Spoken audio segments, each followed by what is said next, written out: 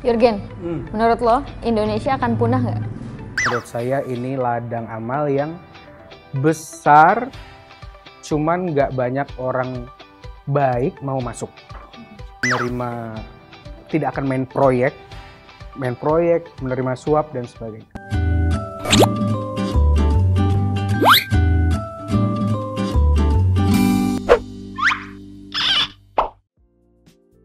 Jurgen, Hmm. menurut lo Indonesia akan punah nggak? Tidak. Kita akan selamat beribu-ribu tahun lamanya. Karena, Karena itu cita-cita Bung Karno. tapi justru katanya itu pidatonya Bung Hatta. Jadi Indonesia akan hancur kalau eh, terga- bergantung sama negara-negara nggak cuma lain, Indonesia, negara-negara negara asing. lain yang apa tidak mampu mandiri, dia akan tergantung dan sampai bisa bubar bisa. Tapi gue yakin kita on the right track. Dan yang memang eh, harus digaungkan ya optimisme itu. Bung Hatta nulis, menurut gue tafsirnya itu akademik. Bagaimana satu negara bisa maju atau runtuh. Tapi karena kita punya cita-cita ada dalam Undang-Undang Dasar 45, ya itu yang harus kita tuju dan harus optimis gitu. Maksud gue apa yang kurang benahi, tapi jangan yang nggak terlalu jelek lu jelek-jelekin, yang nggak terlalu baik lu baik-baikin juga nggak- benar. So nggak bakal bubar, nggak bakal punah.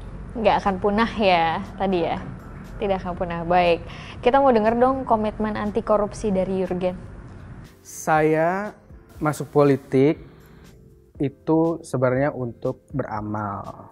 Menurut saya ini ladang amal yang besar, cuman nggak banyak orang baik mau masuk.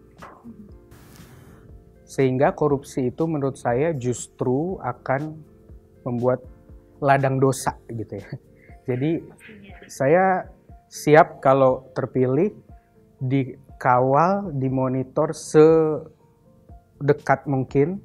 Saya tidak akan menerima suap, saya tidak akan menerima, tidak akan main proyek, main proyek, menerima suap dan sebagainya.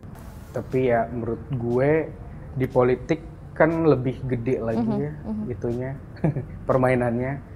Dan mungkin karena udah belajar juga dari elit-elit di DPR kawan-kawan wartawan juga so I think bisa.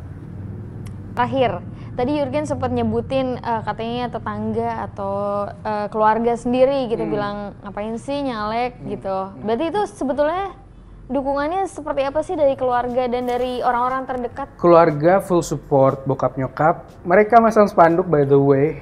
Kayak mereka udah 60 ya. Terus ma apa ke mana? Masang spanduk deket rel. Wow.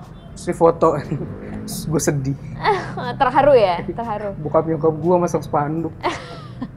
Itu bentuk supportnya apa Iya. segitunya ya? Sampai segitunya. Kayak ya karena gue harus melakukan yang lain either fundraising atau turun ke bawah gitu ya.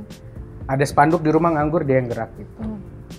keluarga besar juga yang lain dukung. Ada yang sebagian masih mempertanyakan kenapa ke PSI tapi ya, ya udahlah biasa lah perbedaan itu. Jadi seenggaknya full support semuanya yes. ya. Baik, kita doain Sobat Medcom semoga Jurgen dan karir ke depannya sukses selalu. amin terima kasih Samira kawan-kawan semua. Terima kasih banyak.